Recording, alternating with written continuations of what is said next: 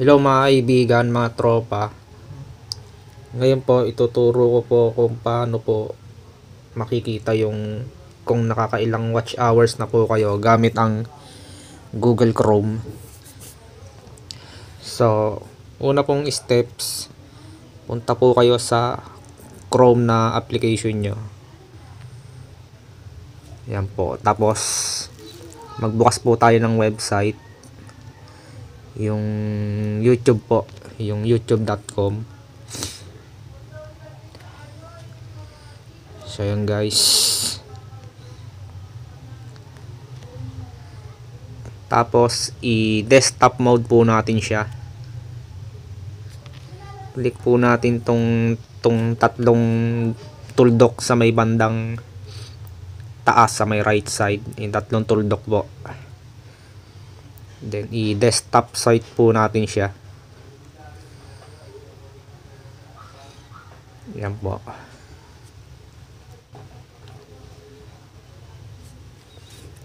Naglo-loading pa. Then, yan guys. Tapos, punta po tayo dito sa may bandang taas. Sa may right side po. Makikita nyo po yung channel icon nyo dito sa may right side sa taas click nyo lang po yon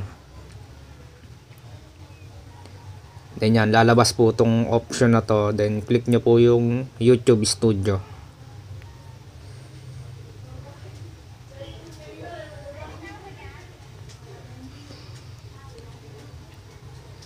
Ayan, naglo-loading pa siya guys. Then mapupunta po siya dito sa sa sa channel dashboard nyo. Then click nyo lang po itong dollar sign sa may left side. Ito po guys. Dollar sign sa may bandang baba sa left side. Then yun po. Mapupunta na siya dito sa may monetization nyo. Then makikita nyo na po dito kung nakakailang watch hours na kayo. Tsaka subscribers po. Ayan, yun lang guys.